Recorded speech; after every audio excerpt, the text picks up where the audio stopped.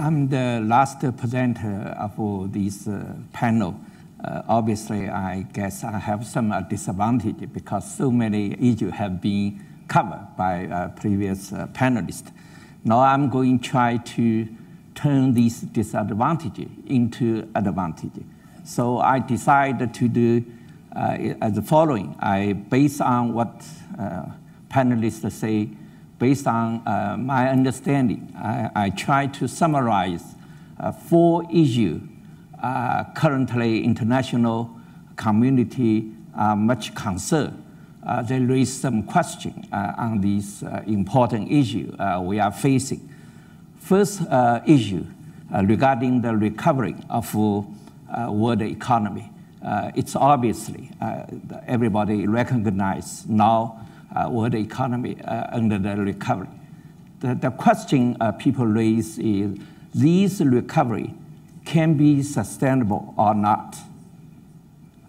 Also, so-called secular stagnation claimed by Larry Summers still exists or not. Uh, furthermore, uh, we see the, the sign, uh, the monetary policy in advanced countries has already uh, started to change.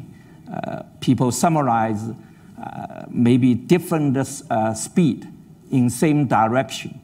That means the QE will gradually exit.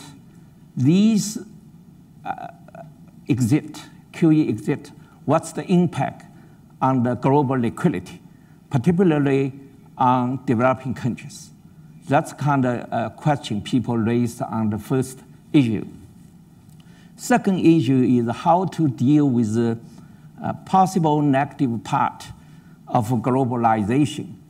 Uh, even people support globalization recognize uh, some possible negative uh, outcome from uh, globalization, particularly uh, although globally the income equality has been reduced, I mean, among the different countries the equality be reduced. But in each of country, no matter advanced or developing countries, income equality, the gap uh, wide, how to solve uh, the issue.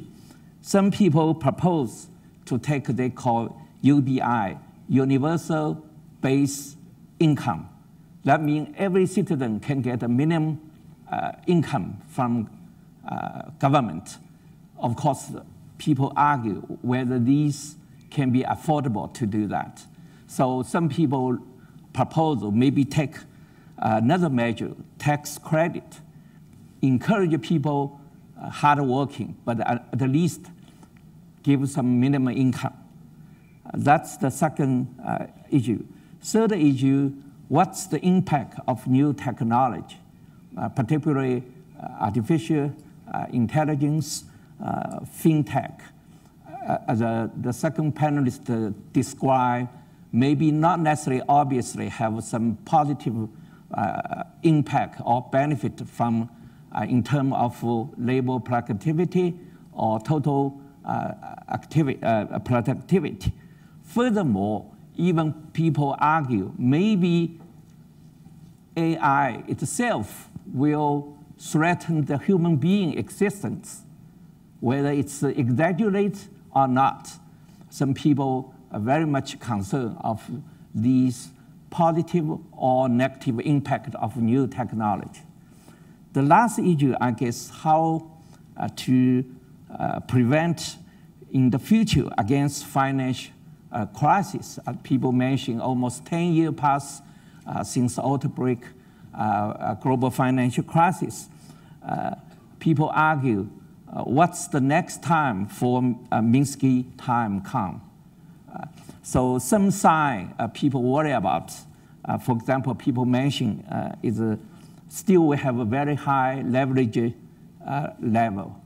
Also, in fluctuation of cross-border capital, yes, you can see immediately before and after global financial crisis, the fluctuation of cross-border capital is very uh, dramatically uh, later on, after the outbreak of global financial crisis, yes, the fluctuation a little bit come down. But among the developing countries, the fluctuation still very high. So people still worry about that. The next uh, part of my presentation, I want to, because I'm Chinese, I want to talk about some uh, Chinese economy, although uh, some panel have already uh, touched upon. I guess uh, one or two years, uh, many people, international community worry about the possibility of a hard landing for Chinese economy. But now nobody talk about that because so far Chinese economy perform relatively well. Um, last year, uh, the GDP growth uh, was 6.9%. Uh, in the first third quarter this year, also GDP growth reached same 6.9%. The IMF raised their forecast four times this year. Now they forecast maybe at the end of this year, GDP growth of China can reach 6.8%. Uh, but don't forget the target uh, for Chinese government uh, set at the beginning of this only 6.5%. So I don't see any problem for uh, uh, growth rate. Uh, that means the, generally the Chinese economy have already stabilized. Even next year, I guess, is the same situation. Obviously, uh, another issue people raise uh, many times uh, about debt, debt ratio in China. Even SP downgrade Uh, of Chinese uh, sovereign uh, rating.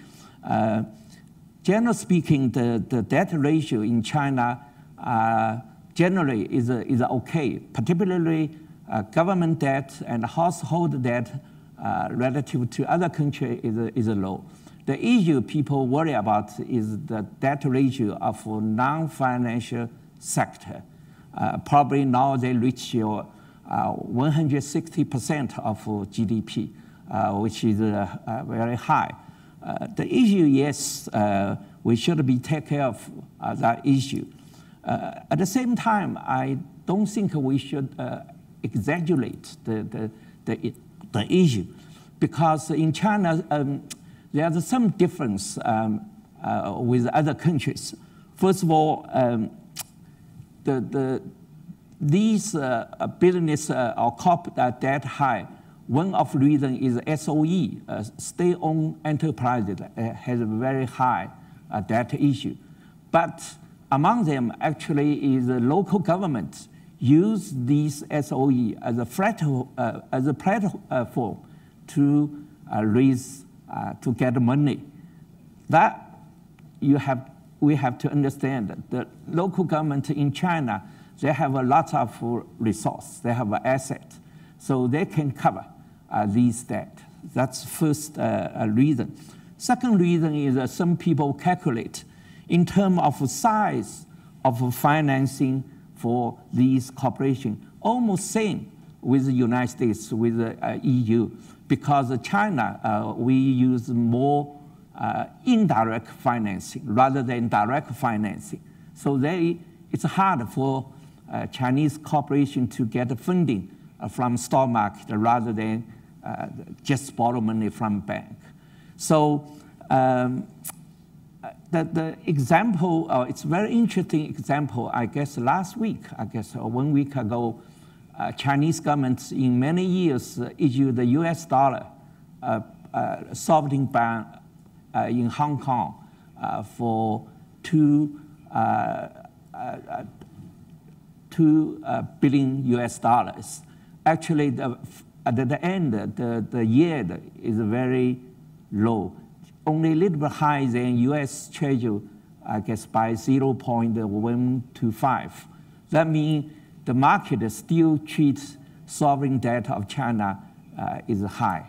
So I guess uh, that's the general uh, description on Chinese current uh, situation. Of course, tomorrow we have another workshop. I, am going to talk about long term, what's the outcome of 19th uh, uh, National Congress of Communist Party from economic interpretation, that's tomorrow.